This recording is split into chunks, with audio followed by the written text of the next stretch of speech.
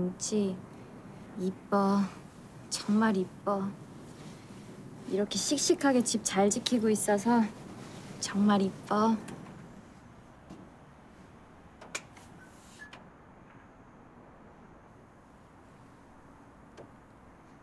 동희 씨, 본부장님.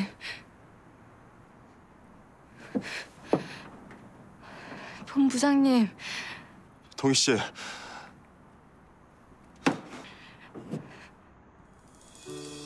그대를 만나려고 그랬었나 봐요 왠지 이루어지지 괜찮아요? 괜찮은 거죠? 네 괜찮아요. 만나려 그랬었나 봐요 오랜 시간 지나 걱정했어요.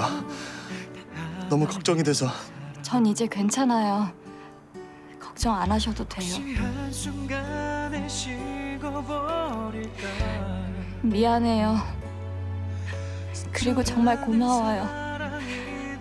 저희 때문에 고생 너무 많으셨죠? 제가 오히려 더 걱정했어요. 본부장님 다치실까봐. 어떻게 될까봐. 제가 얼마나 얼마나 걱정했는지